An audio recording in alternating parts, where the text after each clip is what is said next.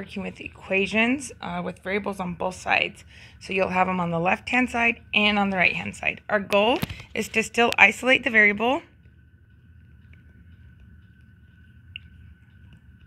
on one side. So we need to decide which side we want it to um, of the equal sign. And all numbers to the other side.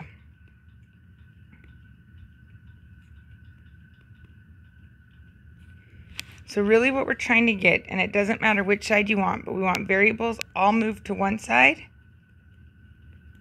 And we want all numbers, just plain numbers or constants, constants on the other side. All right, our first step is not going to change. The first thing we're going to do is still distribute. So if you see parentheses, make sure you distribute. And do not forget the sign.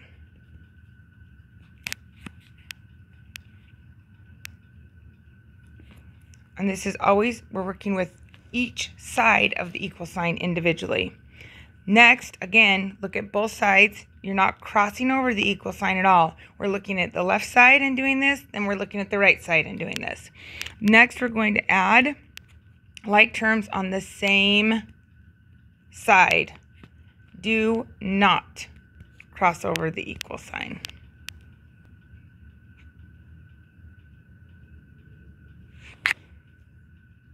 After this, you're going to move the variables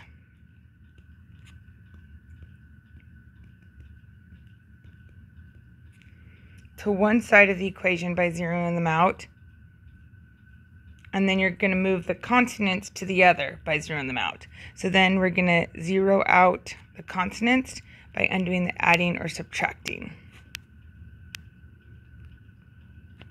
And then again, whatever you do to one side, you must do to the other. But remember, again, we're trying to get variables on one side and our constants are numbers on the other side. Last, we're back to solving those equations. We're going to undo, um, we're, we're going to undo the multiplication and division, which is going to isolate the variable.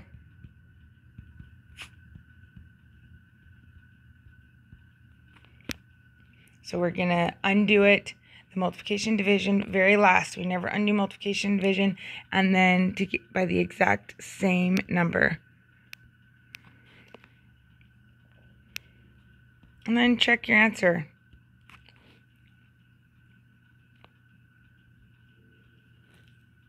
All right, so I'm going to walk you through um, four examples, and then I'll leave you guys some on your own. First thing, and again, some of you don't need this as necessary as others, but right here, I have two sides. So I'm going to do each those steps on each side. First thing I'm looking at, is there anything on this side that I need to distribute? No. Is there anything on this side that I need to distribute? No. So my next step is I need to look to see if there's anything on this side that I can combine. Well, I can't combine 11x and I can't combine 9. So nothing on that side. I look over here. I have x's and numbers, nothing to combine. This is our next step. And I don't care where you take them. I would do variables on this side and we want numbers on this side.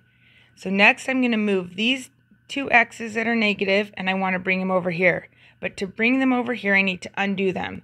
So right now if I have a negative 2x, to make it so there are no x's on that side, I am going to add 2 and the x. I'm moving all of it with me. So I'm taking all my variables to this side. I'm going to add 2 and x. Then um, from there, I'm going to move all my numbers to the other side. So I'm going to subtract 9 and I'm going to subtract 9. So now if you look at this, I have 11x that are negative and I have 2 x's. That will leave me with negative 9x. I had a positive 9, I had a negative 9 that's 0 now. I have nothing left over here. I had a negative 2x and I added 2x's. This is also 0. And then on this side, 45 minus 9 will give me 36. So again, if you look, I have variables, all my variables move to one side, all my numbers move to the other.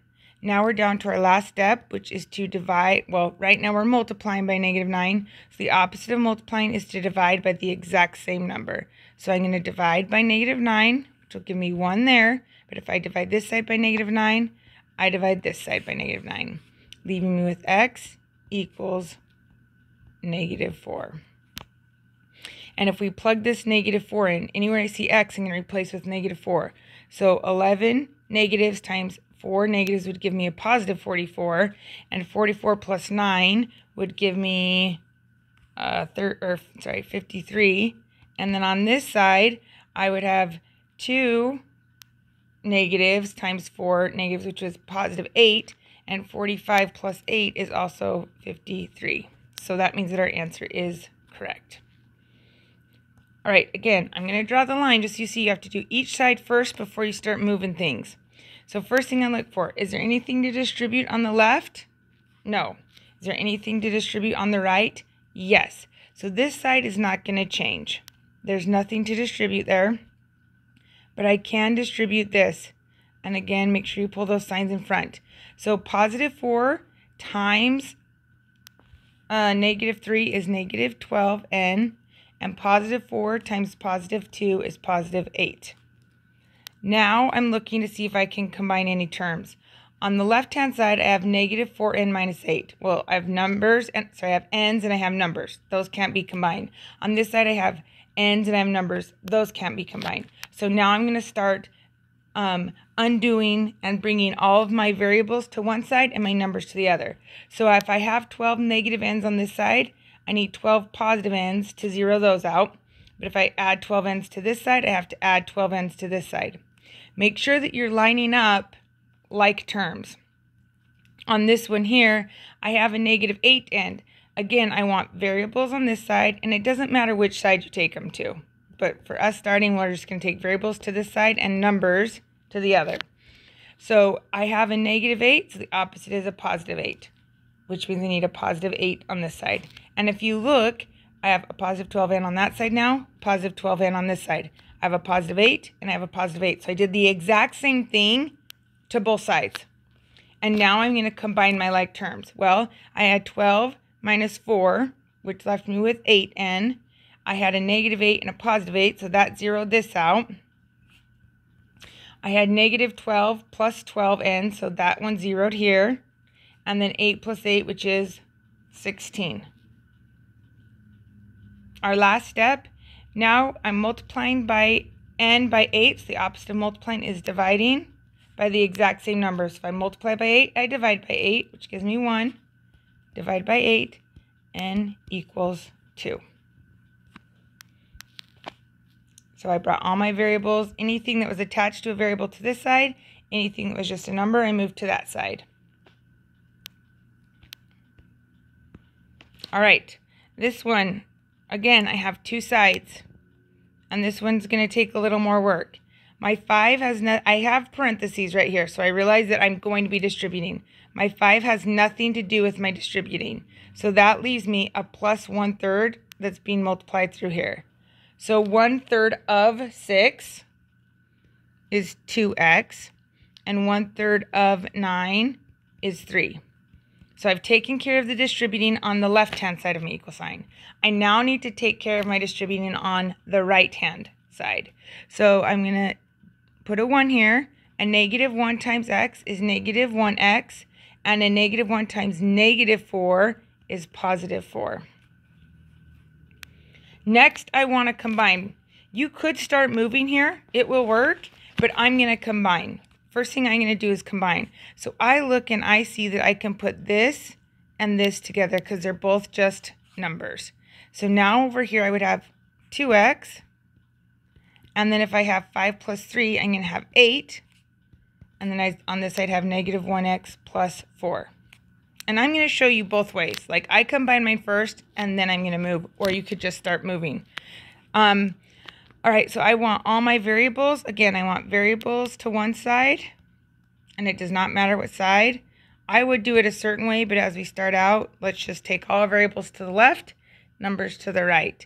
So I have a negative 1x. I need that to come to the other side, so I'm going to add 1x. If I do it to this side, I do it to this side. I have a positive 8, so no numbers, sorry, no letters attached to it, no variables. I need to move it to the other side. And to move to the other side, we have to undo. So now you can look, positive 1x, positive 1x, negative 8, negative 8. So I'm doing the same thing. 2 plus 1 will leave me with 3x right here. 8 minus 8 is 0. And then 1x that's negative plus 1x that's positive gives me 0 here. And then 4 plus negative 8 is negative 4. And so by the time we're done, our last step right here is, right now we're multiplying x times 3. So the opposite of timesing is dividing by the exact same number. So your final answer you'll leave just like this as a fraction. All right, on this D, I'm going to show you what would happen if you move before combining. It will still work. You can move everything before you combine. I just like to combine first because it simplifies at the end, but it will still work. It will still work. You'll have to just combine at the end. So first thing I look for is I see parentheses right here, so I know I'm going to distribute. So I'm going to take this negative 4 times x, which will leave with negative 4x. And then I take this negative 4 times negative 3, which will give me 12, positive 12 and I have plus 10x. On this side, there's no distributing, so I bring everything down. And now you can either combine here and then start moving, or you can just start moving. Again, anything with a variable we want on this side, and anything that's a number we want on that side. So this is why I said it will work either way. So we have negative 2x, which would be plus 2x, plus 2x. Now, there's no more x over here, so I've moved everything with an x to this side.